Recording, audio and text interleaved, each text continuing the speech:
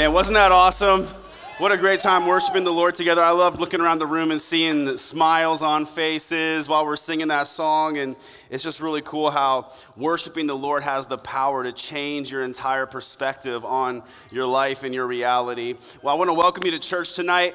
It's good to be with you, those of you who are at our Mesa campus and those who are joining us online. We've had a great time of services today around the city. And hey, four o'clock service, I want to put it on your radar that in the mornings, uh, services today, I encourage those who make this their church home to shift to the PM service time slot, like a lot of you, you guys who really love Jesus, you hardcore Generation Church members. You know, it's not a guilt trip it just shows who's really committed, you know? And so I say, hey, if you can move to the PMs, that helps us make room in the morning so- uh, slots where more likely guests will come to those times. Uh, so we want to make room for them, and we're starting to run out of space again in the morning as school has started and people get back in the routine. So if you come to one of the PM services like this one, thank you. You're making a difference, and you can help me by texting or talking to your friends who go to Generation Church and you know inviting them to the PMs with you. I can't really guilt trip them as their pastor, but you can as their friend. So it's for a good cause. Thank you for your help with that. It's awesome. We are looking forward to our new worship space being completed. We are aiming for November for that to be opening. And yeah, it's going to be exciting. So keep uh, the church uh, in prayer as we are uh, finishing that project up. We're in a series in the book of Exodus. It's the second book in your Bible if you want to turn there. Um, we're in chapter 4 this evening, and I want to title this message, Give Me a Sign. Lord, give me a sign. I'm not going to rap that DMX song. Uh, have you ever wanted a sign? Have you ever asked God for a sign? I have. Like when I was called into ministry and I was moving back to Arizona, in that process, I was a single guy and I wanted a wife. Um, some people have the gift of singleness. I do not have that gift. I wanted a wife. And so I was praying, okay, Lord, I need a wife. Who's it gonna be? Who's it gonna be? And me and Amy had been friends since we were younger, and we even dated a little bit after high school for a few months. I was the first guy she ever kissed. Obviously, I made a pretty big impression. So I was moving back to Arizona. We had been friends all along. I knew her really well. Um, our parents went to Bible college together. And so on paper, Amy checked every box. She was godly. She was called into ministry. She was sweet. She was kind. But I was like, okay, Lord, I need to know if Amy is the one I'm supposed to marry. And I'm praying about this. We hadn't even started dating yet. We hadn't even really been flirting, but I was praying. And I was praying, God, give me a sign. Give me a sign because I want to know. I don't want to waste her time or hurt her feelings or get caught up in something that's not from you. So give me a sign. And I had been leading this young adult Bible study at the time. And one night, Amy came to visit the Bible study. And here I had been praying for a sign. Amy walks in, and she just looks so pretty. It was like everything went into slow motion, and her hair's like flowing in the wind. And I was like, That'll do. That's my sign right there. Okay, here we go. I'm a simple man. So here we are 10 years later being married. It's been good. It's been good. Love my wife.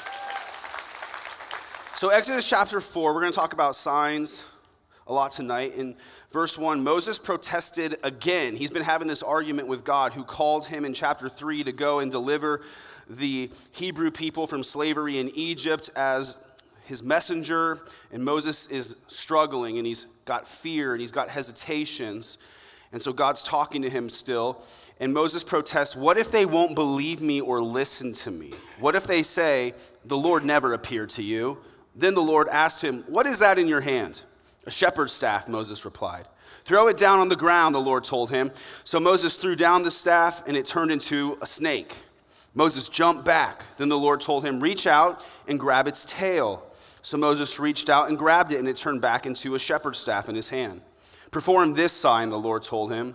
Then they will believe that the Lord, the God of their ancestors, the God of Abraham, the God of Isaac, and the God of Jacob, really has appeared to you. Then the Lord said to Moses, Now put your hand inside your cloak. So Moses put his hand inside his cloak, and when he took it out again, his hand was white as snow with a severe skin disease. Now put your hand back into your cloak, the Lord said. So Moses put his hand back in, and when he took it out again, it was as healthy as the rest of his body. The Lord said to Moses, If they do not believe you and are not convinced by the first miraculous sign, they will be convinced by the second sign. And if they don't believe you or listen to you even after these two signs, then take some water from the Nile River and pour it out on the dry ground. When you do, the water from the Nile will turn to blood on the ground. Okay, so we're going to talk about this. God is sending Moses to deliver this message to Pharaoh, let my people go, and to the Hebrew people, God has sent me. It's time for your deliverance. And you got to understand this is a pretty big deal. It's been 400 years of slavery for the Hebrew people. They've been praying for deliverance, and they have received no divine revelation from God for generation after generation. And so now here's this guy, Moses, who's going to show up. And imagine if all you've ever known is slavery and all your family has ever known is slavery. And this guy shows up you never even met before. His name's Mo. Hey guys, my name's Moses. I, I haven't really been around the last 40 years. I've been a shepherd in Midian. Uh, here, here's the thing um, I was out taking care of my sheep one day, and I saw this bush that was on fire, but it wasn't on fire, but it was. And so I went to check it out, and I'm like, what is up with this bush that's on fire, but it's not burning up? And then God spoke to me, and he was like, Moses, Moses. And so I walked over, and he's like, go and send my people people this message? And so I'm like, I don't know. And so here I am, guys. And God wanted me to tell you, pack up your stuff because we're leaving this place. How many of you know I'm not going with that guy? Bro, it sounds like you fell and hit your head. I don't really think you came with a message from God. And so Moses is asking God, like, well, how, how are they going to believe me? Why would they believe me? And that's a pretty good question, honestly. That's a good question because not everyone who says they have a word from the Lord actually got a word from the Lord. Not everyone who claims to have a word of prophecy actually got it from God. Not every strange dream comes from God. People will message me uh, sometimes, Pastor Ryan, I had this dream uh, and, and this happened and this happened. What do you think it means? And I'll be like, bro, I think it means you need to stop eating so late before you go to bed. Not every strange dream is from God. So Moses knew people are going to be skeptical and they need some proof. And so God gave Moses some signs to show the Hebrew people that Moses was really sent with a legit message from God. He told him, You know, you can take some water and pour it out on the ground, and I will turn it into blood. And the water from the Nile River was very significant. The Nile River was the source of life in this region. It was a source of water and food, and all the trade came through the Nile. And so the Nile represented life, but God turns the water into blood, which represents death. He has the power of life and death. God told Moses, Put your hand inside your cloak. And he took it out, and it was white with a skin disease. Uh, we think it's probably some kind of leprosy. And in those days, people were terrified of leprosy. It was a very contagious disease, so if you got leprosy, they would send you out from the community and isolate you. People were very scared of catching leprosy, and so God was showing, I have the power of cursing and I have the power of healing, even over sickness and disease. And then I love God said, What's that in your hand? And Moses had his staff. He said, A staff. And God said, Okay, throw it down on the ground. So Moses did it, and it turned into a snake. And Moses jumped back. He was scared, which I would have been scared too. And then God says, Take it by the tail. I don't know about you, but that's where my faith would have really been tested. Like, I don't want to touch some snake. That's crazy. But he, he overcame his fear, and faith caused him to reach down and grab it by the tail. It turned back into a staff. And it represented God's power to transform, God's power over nature. God made a man out of dust, so it's not surprising that he can make a snake out of a stick. And it shows you that when God calls you to do something really big, he doesn't ask you to become someone that you're not. In fact, he'll often use what you already have in your hand, but he'll just ask you to trust him with it.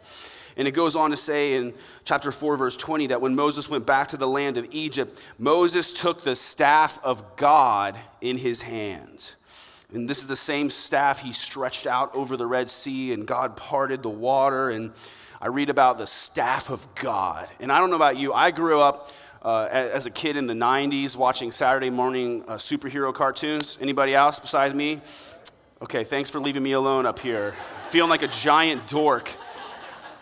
But as you know, my inner, my inner like child who watched Spider-Man and all these cartoons growing up, I'm like, the staff of God. That sounds so cool. I wish I had the staff of God. I don't need to part any ocean, but I would love to part traffic on, on my drive and I just cars, right? Like, ha ha, the staff of God. Like, it'd be awesome, right? God does have the power to do amazing miracles. And God does some of his most epic miracles in the book of Exodus. And we're going to talk about them over the following weeks and months. And many of you have experienced miracles too. You've seen signs, you've seen wonders through the power of the Holy Spirit, and that is awesome. But as cool as signs and wonders are, I want you to understand today that a sign is just a symbol. A sign is just a symbol. Maybe you have flown into Sky Harbor Airport at one point and you've seen the giant phoenix sign on the side of the Usery Pass mountain range. Maybe you wondered, you know, what's that about? Well, this was constructed in 1949 by a World War II pilot named Charlie Merritt, who was an Air Explorer scout leader. And it took five years to build this giant sign. They even had to use dynamite to blast in the side of the mountain. It took 430 gallons of white paint. The letters there are 100 feet tall, and the sign stretches out 1,000 feet long, which would be like if the Eiffel Tower was laid on its side. Uh, this, this sign right here, it is three times longer than the famous Hollywood sign in LA. And that just goes to show you that everything is better in Arizona. California might have the ocean, but we have freedom.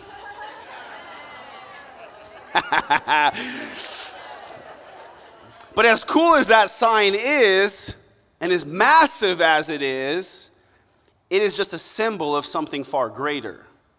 You wouldn't go and visit this sign and then tell your friends that you live in Phoenix. Observing this sign is not the same as seeing the city. This sign is really cool, but it represents almost 5 million people in the 10th largest city in the United States. It's just a sign, and a sign is just a symbol. Or then I think about this maybe you've seen some of these driving around town before. Maybe you've seen something like this.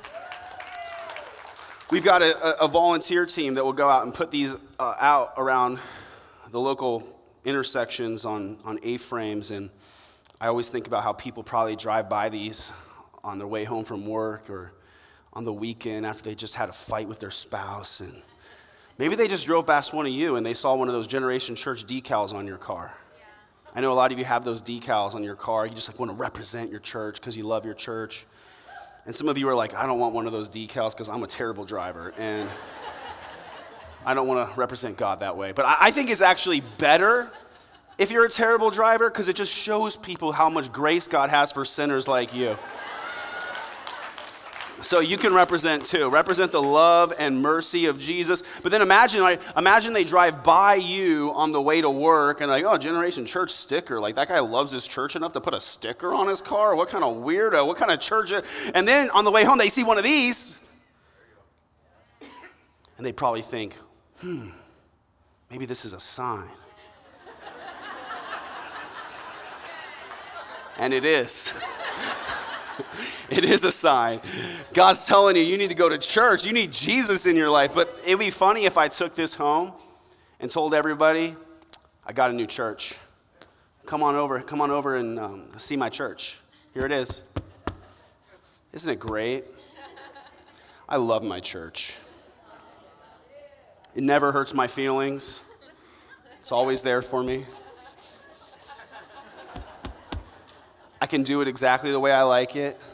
We sing the songs I want to sing every time, just me and my church. But see, the thing is, you know, this is just a sign. This isn't the church, it represents the church. This doesn't love me, this represents a community that loves me. This isn't the destination, it points the way to the church that I love. It's a sign and a sign is just a symbol. And so we don't want to get so caught up chasing after signs that we miss who they point to. Right? I don't want to get so consumed chasing after miracles that I miss the Messiah. We thank God for signs and wonders, but we have to be careful not to get more excited about a sign than who the sign points to. Because we don't worship a symbol, we worship a Savior. And I want to talk about that more. In Matthew 12, with Jesus, it says, One day some teachers of religious law and Pharisees came to Jesus and said, Teacher, we want you to show us a miraculous sign to prove your authority. But Jesus replied, Only an evil, adulterous generation would demand a miraculous sign. But the only sign I will give them is the sign of the prophet Jonah. For as Jonah was in the belly of the great fish for three days and three nights, so will the Son of Man be in the heart of the earth for three days and three nights. So the Pharisees come, they demand a sign. We, we want a sign. You need to prove your authority, prove what you're saying is true. And Jesus basically says, You're evil and adulterous. Jesus just had a way of saying it, you know? Now consider that when they demanded a sign, Jesus had already healed the sick, he'd restored sight to the blind, he had cast demons out of demon possessed people, he calmed a storm with his voice. So he'd already done a, a lot. But here they are again. We, we want another sign. And Jesus could have done something on demand. He had the power. He could have pulled a rabbit out of his robe. But instead, he's like, no, I'm not doing that. I don't perform on demand. The only sign I'm going to give you is the sign of Jonah. And, and, if you're familiar with the story of Jonah, you know, Jonah, he ran from God. He was thrown overboard in the middle of a storm. He was swallowed by a giant fish. God preserved him in the belly of a fish for three days and three nights. And then the fish spit him out on the shore, and he went back to his assignment and preached the message of the Lord because he learned his lesson the hard way. And Jesus said, That's the sign I'm going to give you, the sign of the prophet Jonah. And he was saying, The way that Jonah went into the belly of a fish for three days, I'm going to be killed and buried in a tomb for three days. And then I'm going to be resurrected again by the power of God. And that will prove my authority. Because, see, there had been prophets and men of God who performed signs by God's power throughout history, but no one had ever died, been buried, and been raised to life again after three days by the power of God uh, the way that Jesus would be. And so that would prove his authority in a way that other signs never really could. And it proved when he did it that his message was true. He really was the Son of God. He is the Savior of the world. He's the only way to be forgiven from sin. He's the only way to escape the fires of hell that burn for eternity and find eternal life with Jesus, inheriting God's favor in heaven. So the resurrection is the greatest sign in history. You want to get this clear in your mind. As cool as it is that God turned a staff into a snake, it's a much bigger deal that Jesus turned sinners into sons. As cool as it is that God parted the water of the Red Sea, it's a much bigger deal that God pardons you from your sins. The rescue of the Hebrews from slavery changed history, but the resurrection changes all of our eternity. So we don't want to get so caught up thinking that little signs and wonders, which are cool, are the big show, when in reality, the main show happened 2,000 years ago when Jesus came out of the tomb.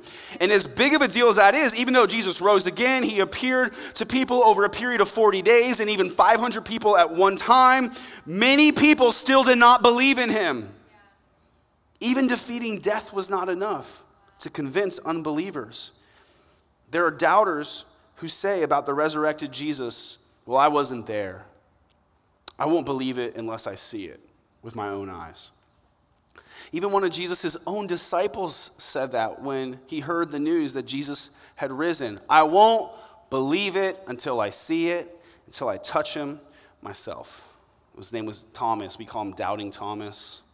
You're going to probably meet him in heaven someday. Doubting Thomas! He'll say, Please, it's just Thomas now. But there are 10 extra biblical ancient sources that mention the resurrection of Jesus. In other words, not even in the Bible, written by non Christians like Jews and Roman historians. And it talks about Jesus and this new movement that believed he rose from the dead. And so there is undeniable evidence that Jesus rose from the dead. In fact, I think it takes more faith not to believe than to believe. And that there are a lot of people, they remain hard hearted. I love this quote from the book, The Case for the Resurrection of Jesus. It says, Even the highly critical New Testament scholar Rudolf Bultmann agreed that historical criticism can establish the fact that the first disciples came to believe in the resurrection and that they thought they had seen the risen Jesus.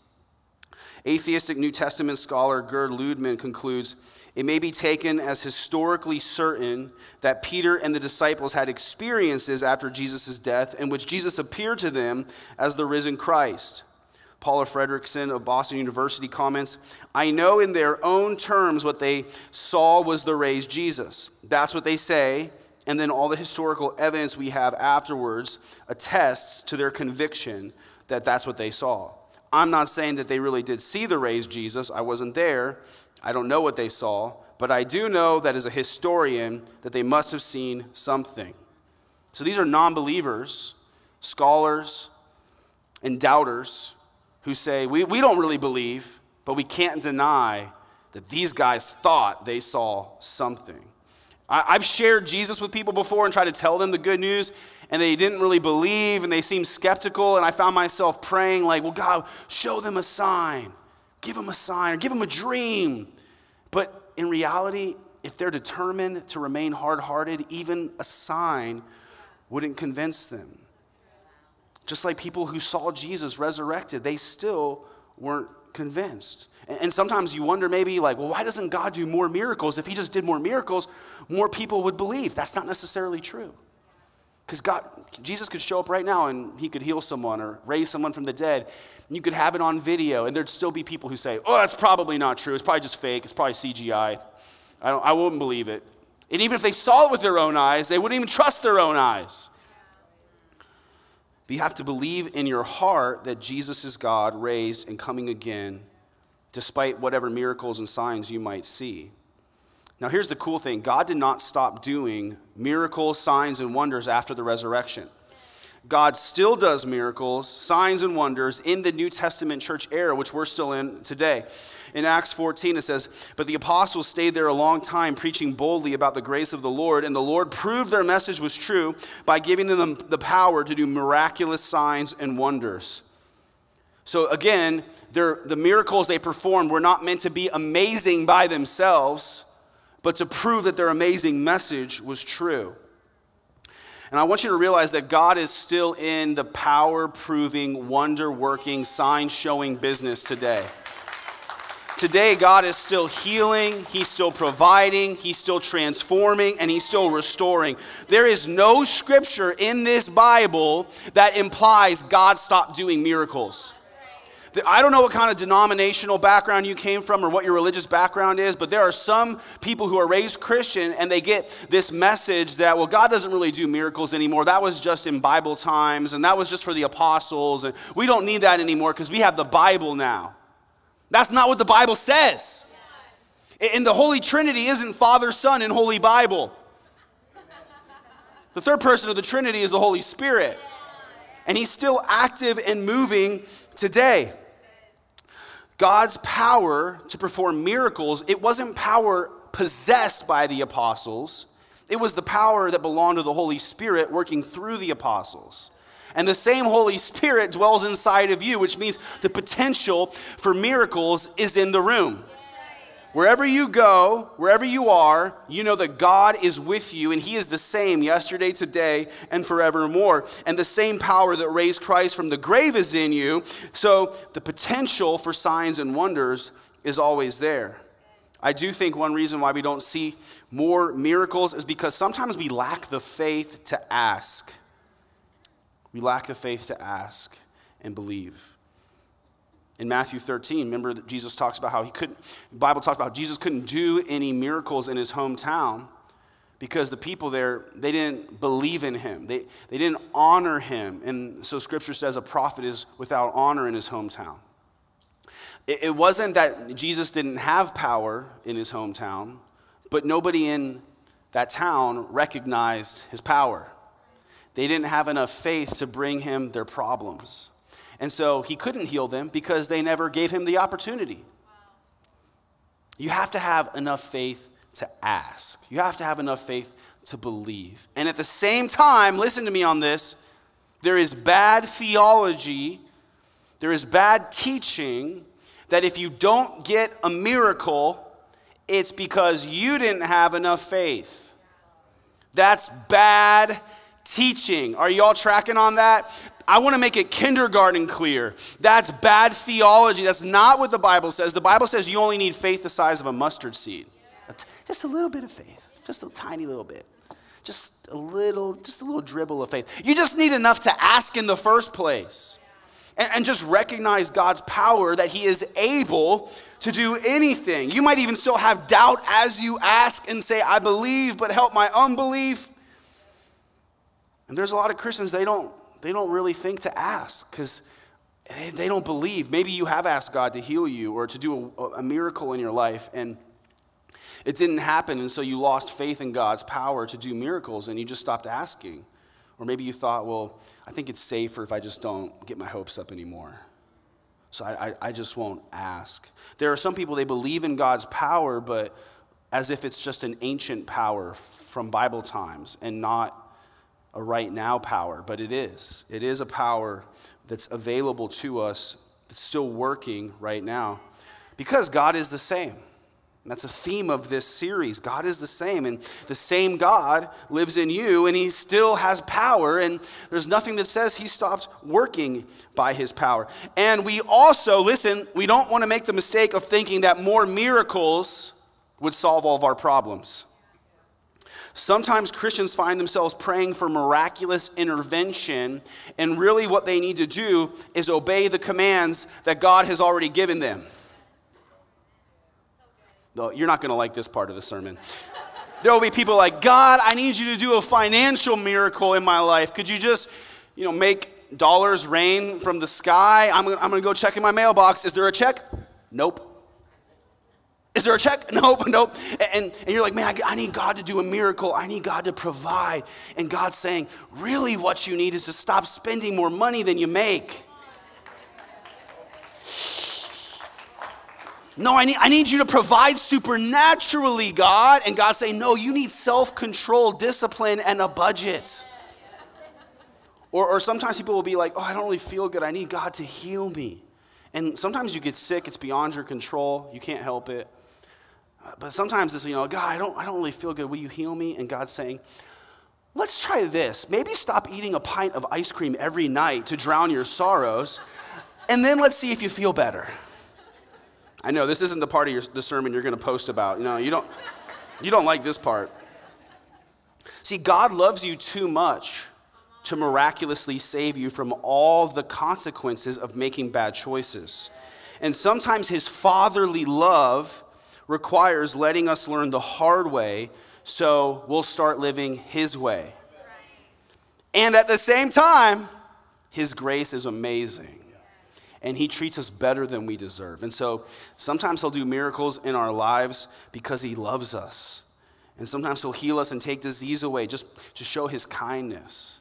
And sometimes he'll provide for our needs just to just show us how generous he is. He'll open the right door at the right time and show you favor you don't deserve just because he's good. He'll move mountains in your life just to show he can. So he's better than we think he is. He loves us more than we hope he will. He's good to us. And as cool as it is when he does that, we still don't want to get caught up chasing after signs more than the one they point to. Because misdirected emphasis on miracles, signs, and wonders leads to danger. In Matthew 24, we get this warning from Jesus. He says, For false messiahs and false prophets will rise up and perform great signs and wonders so as to deceive if possible, even God's chosen ones. That's you. Talking about Christians. And Jesus says, I have warned you about this ahead of time. So he's expecting you not to fall for it. Okay, church? Okay? Listen, I love you. I want to make this very clear. The devil is a supernatural being who has power to work on this earth. His power is nothing compared to God's power. Let's make that clear. Sometimes people get confused about that and they make it out like, you know, Jesus versus the devil is Luke Skywalker versus Darth Vader, and, you know, it's really close, and yet we believe Jesus will win in the end. That's not at all what reality is. Like, Jesus is God. He has existed eternally. The devil is a created being. God has all power over the forces of darkness. God temporarily allows the devil to roam the earth like a lion, looking for those he may devour. And he gives mankind free will and the opportunity to choose. The devil and his demons have a degree of power. And so the devil and dark forces can perform signs and wonders. And they do that at times in order to deceive. So you have to watch out for deception. There's a warning here watch out. Let me talk about deception. Deception happens in degrees. Some deception is more obvious and some is more subtle. Some is obvious, like satanic worship or the occult or witchcraft. People get into that stuff in the pursuit of power. If you ask someone who gets caught up in Satanism, like, why did you do that? Usually it comes down to this they wanted some type of power, and there might actually be attainable power that comes from the devil, but it comes at a great cost. It is possible for the devil to do signs and wonders. To heal, possibly, to give someone knowledge they wouldn't have, to show some kind of power over the natural world. And so, whenever you see a miraculous sign, you have to ask what or who is the source of this sign? Where did the power to perform this miracle come from? Are the miracle workers preaching Christ crucified and risen again, or are they drawing people into the schemes of hell? The devil will gladly offer someone power and prestige if that's what it takes to keep that person separated from God for eternity. I think about, you know, you see magicians like David Blaine levitating or freezing himself in a block of ice. And I don't really know, like, is this a magic trick or, or does this guy actually have some kind of power? And if he does, where did it come from? And, and if he has power that came from someplace other than God, it might have gotten him temporary fame in this life, but at what cost? That's why in Mark 8, it says, What does it profit a man to gain the whole world and lose his soul? Now, most Christians would not get involved accidentally with witchcraft. I, I, I, haven't gotten that a lot, where it's like, Pastor Ryan, I got caught up in Satanism. that, that, that's not a common problem, but I have seen ignorant, uninformed people be deceived by more subtle deceptions. Let's give the devil some credit. He is a clever liar and he has been deceiving for thousands of years, so he knows what works and what doesn't work. And he doesn't usually outright contradict God because that's too obvious. He usually just subtly twists the truth and he says, Did God really say? Did God really say you can't eat from any tree in the garden? No, that's not what God said at all in the first place. But he just subtly twists the truth because if he can just bump you off course one or two degrees, eventually you'll end up miles away from the truth. So he twists the truth. And I, I, can tell you this the devil loves how Hollywood portrays him as a scary, horrifying, gross creature with horns and a pitchfork and a tail, because that's not really how he tends to appear. Because he's too smart for that, to be honest. Listen to this passage, read it carefully. It says in 2 Corinthians 11, you happily put up with whatever anyone tells you, even if they preach, look, a different Jesus than the one we preach, or a different kind of spirit than the one you received, or look, a different kind of gospel than the one you believed. These people are false apostles. They are deceitful workers who disguise themselves as apostles of Christ. But I am not surprised. Look, even Satan disguises himself as an angel of light. So it is no wonder that his servants also disguise themselves as servants of righteousness. In the end, they'll get the punishment their wicked deeds deserve. So I just described to you exactly how Mormonism came to be. Joseph Smith said that in 1823 he was out in the woods and apparently he was praying, he says, and an angel of light appeared to him. Okay, maybe an angel appeared to him. Angels have appeared to people. Only problem is the angel gave him a different gospel than the gospel we've had for almost 2,000 years at that point. And in that gospel, they have a different Jesus. I've talked to Mormons and they're like, well, we believe in Jesus. I'm like, yeah, you say you believe in Jesus, but he's a different Jesus than the Jesus of the Bible. What do you mean? The Jesus of Mormonism was a created being and the brother of Lucifer. The Jesus of the Bible is God and has existed eternally. These are different Jesuses. You use the same name, but we're talking about different things. And, and people don't recognize it because they don't know what's in the Word of God. And so they are deceived by a false apostle. And you even get people knocking on your door. Hi, I'm Elder Smith. And they're really nice and they're really well behaved. It, it's like just what it says servants of righteousness they appear as. I can't even believe it. We live in Arizona. It's like God nailed it. It's false religion. And we were warned. We were warned. But people don't catch it because they don't understand that what they're hearing actually contradicts the Bible. Even more subtle than that, within certain circles of Christianity, there are proliferations of just false prophets and weird charismatic ministries. And I believe in the power of the Holy Spirit. I believe in gifts of prophecy and words of knowledge and wisdom. But there are some people who are crazy. and you start watching some prophecy on YouTube, and that leads to another recommended video, and next thing you know, you're wearing tinfoil hats and waiting for the apocalypse. and you're like, I don't got time for church because I, I got a word of prophecy. There are Christians in certain types of charismatic Pentecostal movements where they talk about revival, but they don't mean revival like Christians have historically described it. Historically, when Christians describe revival, you see a great turning from sin to God and radically following after Jesus and the calling that he has on your life. But with these weird groups, they'll, they'll say they're experiencing revival, but usually it's more like screaming and emotional manipulation and vague words of prophecy that don't get checked against reality. And groups like this, you'll notice they rarely talk about the gospel. They rarely talk about Jesus Christ or the fact that he died on the cross and rose again. And you're like, why don't you talk about Jesus more? And their attitude, although they might not come out and say it, is, well, that's just basic stuff. The, go- like, the gospel is like basic. That's, that's JV. We have a deeper spiritual experience with God. We're past that. Listen, there's nothing deeper than the gospel. There's nothing deeper than the death and resurrection of Jesus. So, any group who does chase after signs like this, more than the one who the signs point to, is highly suspect, more like a Christian cult sometimes than a Christian church.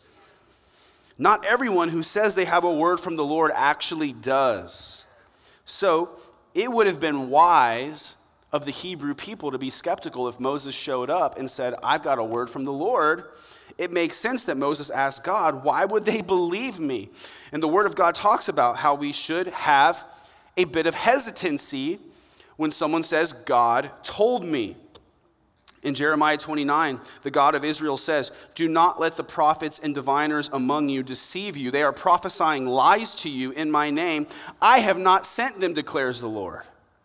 So you got to be careful about anyone who says, Hey, God told me this, or God said to me this, or an, or an angel appear to me. I mean, Maybe it happens, but you should be careful. There are false prophets and there are legit prophecies. Sometimes people will come up to me and they'll be like, Pastor Ryan, God told me what you need to do with the church. And I'm like, He didn't tell me, so. if, he, if he can speak to you, he can speak to me, right? Like, now, if he's been telling me something and then you confirm it, that's cool. But if he tells you something crazy and he hasn't told me, that's a problem. right?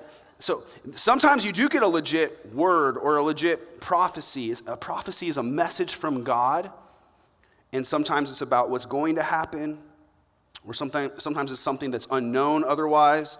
And prophecy is a gift of the Spirit, so you don't want to write it off and act like it's just weird.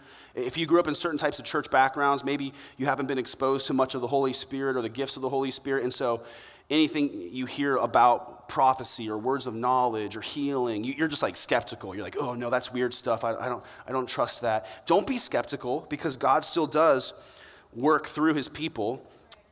In 1 Thessalonians 5, it actually says, do not despise prophecies, but test everything and hold fast what is good. Sometimes people are going to give a word and they'll think it's from God, but they might be mistaken. Because humans are involved, mistakes happen. That's okay. I just told you. Spit out the bones, hold fast to what is good. Right? But test it. And in Old Testament times, when Moses went to the Hebrew people, they didn't have scriptures yet. So he had to perform signs to prove his authority. Eh, with the apostles in Acts, they had to perform signs and wonders to prove their message that Jesus had risen. Now we can test everything with the word of God. And so if someone shows up and says, Thus saith the Lord, God says this, we can listen and then we can go and compare what they said to what God already said. And if what they say doesn't line up with what God already said, we reject it We've tested it and we found it wanting. And, so we don't want to reject all prophecy, but we want to compare it to the authority of Scripture. Hebrews 2 says, So we must listen very carefully to the truth we have heard, or we may drift away from it. This great salvation that was first announced by the Lord Jesus himself and then delivered to us, right? We got to hear by those who heard him speak. And God confirmed the message by giving signs and wonders and various miracles and gifts of the Holy Spirit whenever He chose. So we wouldn't believe a messenger automatically just because he could do signs and wonders, unless what they say aligns with what we know God already said. We're going to check every miracle against the message preached by Jesus. We'll check wonders against the Word of God. And, if people actually did this, you would have less Jehovah's Witnesses knocking on your door, unless Elder John and Elder Smith come to, come to convert you to the Church of Jesus Christ of Latter day Saints. I know, I know some people get mad. They're like, I don't like when you talk bad about other religions. I'm like, just wait. just wait. And, and see, the thing is, I'm not trying to beat up or talk bad about other religions. I'm trying to warn people about false teaching that leads to hell.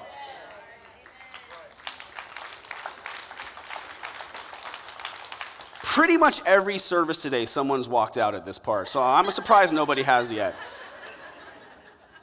Later in Exodus chapter 7, Moses is going to stand before Pharaoh with his brother Aaron, and everything we've been talking about plays out. It's like God illustrates all of this. I want to read this to you. It says in chapter 7 Then the Lord said to Moses and Aaron, Pharaoh will demand, Show me a miracle, just like the Pharisees demanded from Jesus. When he does this, say to Aaron, Take your staff and throw it down in front of Pharaoh, and it will become a serpent.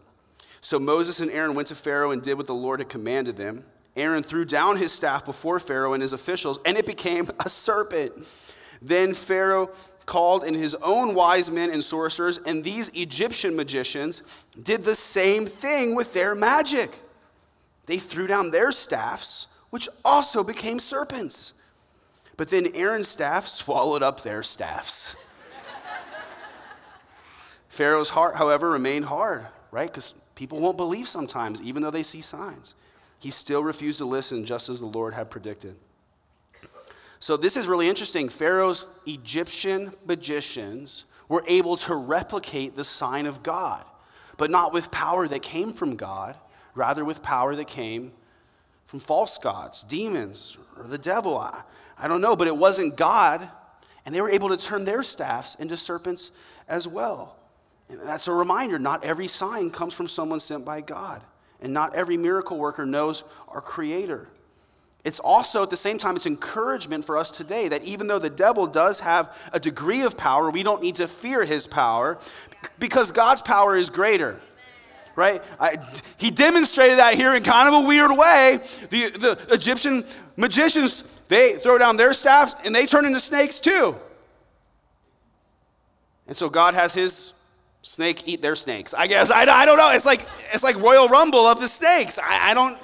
I can I can just imagine. You know, my snake can beat up your snake. I don't know. Like, but God showed His power is greater. And then we see with Pharaoh, not even signs and wonders will convince hard hearted unbelievers who have chosen to not believe. I think it's cool. God gave Moses a staff as a physical symbol of God's power. It was a great reminder. Everywhere he went, he had that staff in his hand, and he was reminded God's presence was with him. God said, I will go with you. You have something greater than the staff of God. You have the Spirit of God. And the Holy Spirit of God inside you is better than the staff of God held in your hand. A staff doesn't talk to you, but the Holy Spirit will talk to you. A staff can't comfort you, but the Holy Spirit can comfort you. A staff can't teach you, but the Holy Spirit will lead you into all truth. A staff doesn't love you, but the Holy Spirit loves you. And the staff of Moses, it was a physical reminder. I can imagine he was standing in the throne room before Pharaoh, and he probably had some normal human anxiety about this mission. You know, he's like, let my people go. I'm sure he felt a little nervous, and he's holding that staff, and I'm guessing he was probably white knuckling it a little bit, probably silently praying, you know, God, help me. And as he felt that smooth place in the wood where his hand rested, he was probably reminded, yeah, yeah, God, God sent me, God's with me, He's with me here. And, and you don't have a physical reminder of that, probably, but you have a spiritual reminder. The Holy Spirit of God dwells inside of you. It says in Romans 8, You have not received a spirit that makes you fearful slaves. Instead, you received God's Spirit when He adopted you as His own children. Now we call Him Abba Father, for His Spirit joins with our spirit to affirm that we are God's children, and since we are His children, we are His heirs. In fact, together with Christ, we are heirs of God's glory. So, God, He doesn't owe you a display of power for every doubt, and He doesn't owe you a wonder to soothe every worry. But He has given you the Holy Spirit. And the Holy Spirit inside you will constantly and freely remind you that God is able and God is with you. The Holy Spirit will speak to your spirit like a still small voice and say, God is with you. God loves you. You're his child and He is your Father. He knows the plans He has for you plans to prosper you and not to harm you, plans to give you hope and a future. He goes before you and He makes a way where there seems to be no way. And everywhere you go, the Spirit of God is with you, reminding you, strengthening you, comforting you, teaching you. It's the same resurrection power that raised Christ from the dead that lives in you. That means anything is possible and nothing is impossible because God's Spirit is behind you and beside you and before you. If God could deliver his people from Egypt and raise his son from the grave, then God's Spirit can bring you through any storm that you might be facing.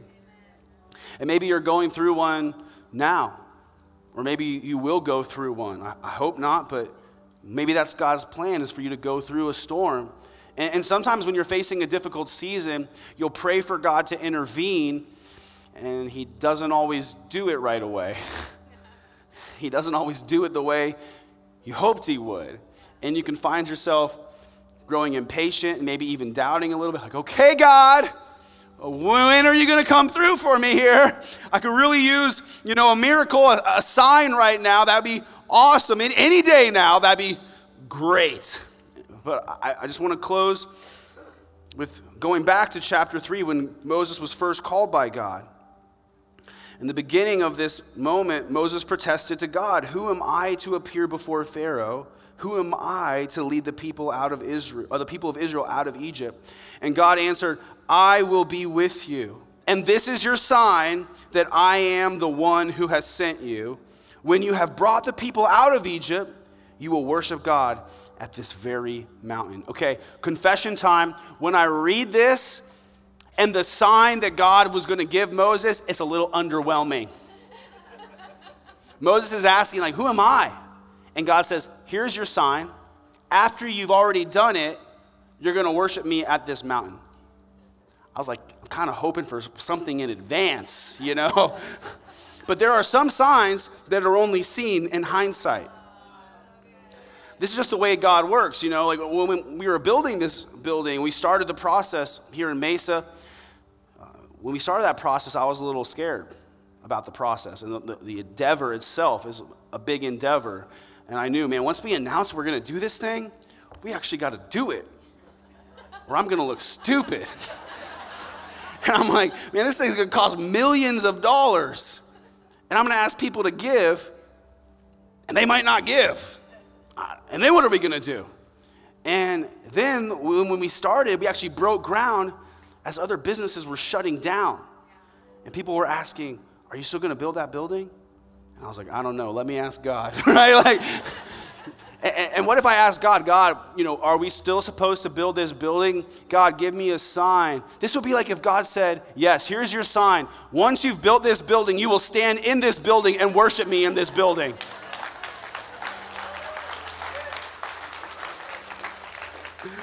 God's saying, in other words, you'll know it works that I am was with you once you've done it and you're on the other side of it. You'll be able to see that all along I was with you in it. That's why Second Corinthians says we walk by faith and not by sight. Maybe you've had doubt before and you've wondered about your salvation. You've wondered, is this really true? Is Jesus really the only way to be saved? Did he really rise from the dead? Is heaven real? Am I really going to go there when I die? And God's basically saying, Yeah, a thousand years from now, you'll be worshiping me in heaven, and that will be your sign. This was true. But you got to actually walk by faith, not by sight. There are some signs you'll only see in hindsight. Once you've been obedient and you stepped out in faith, and that's the way God did it for Moses, that's often how God does it for us. And He won't always show you the whole path, but He'll illuminate your next step. That's why he said his word is a lamp to your feet and a light to your path. And a lamp just lights usually your next couple steps at a time. And just enough to take that next step and the next step. And it's usually not till a lot of time goes by that you look in the rearview mirror and you see, oh God, he brought me such a far ways and he brought me through so much. And all along, he was with me and he was in it.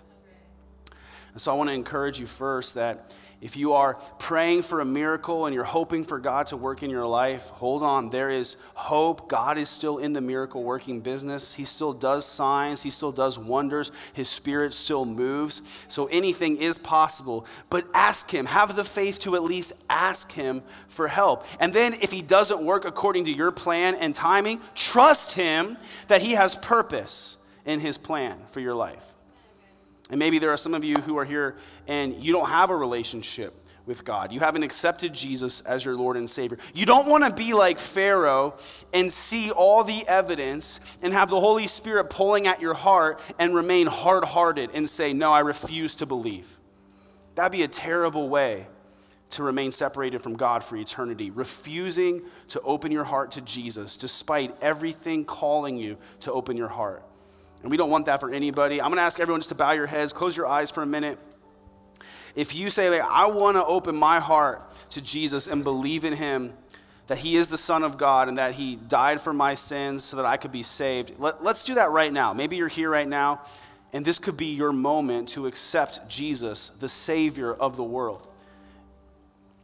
Some of you, God brought you here for a, a reason to have this encounter with the living God. And this could be your moment that changes your eternity. If that's you and you know right now, I want that, pray this with me and just say, God, I ask you to save me. I know that I'm a sinner and I need your forgiveness. I believe Jesus died on the cross to pay the price for my sins. And I believe he rose again so I could have eternal life. I want to follow Jesus from this day forward. I thank you, God, for leading me and for always loving me. In Jesus' name we pray. Amen. Amen. Hey, let's stand to our feet together. We're going to take a minute to respond to this message. And I want to do this first. If you need God to do some kind of mighty work in your life, if you need a miracle in your life, if you need healing or provision or restoration, raise your hand up tonight. Just say, That's me. That's me. I have faith to ask. I have faith to present my need. I need God to do a work in my life. We're going to pray for you and, and put your hands down, put your hands down. If you if you just prayed that prayer to accept Jesus, right now, raise your hand up high. Just say that's me. I just prayed that prayer. Awesome, awesome. Thank you. Anybody else? Anybody else? Say that's me. So good. Great, man. That's awesome. Hey, church, let's lift up these knees to God and let's celebrate what He's doing. Lord, we thank you for your mighty power at work in us. We thank you for the lives that were saved and changed tonight. We thank you that you have healing power and providing power and restoring power. And we ask that what you've done in the past, you will do again. We love you because you first loved us, and we worship you because you're good and you deserve it. In Jesus' name we pray. Everyone said, Amen.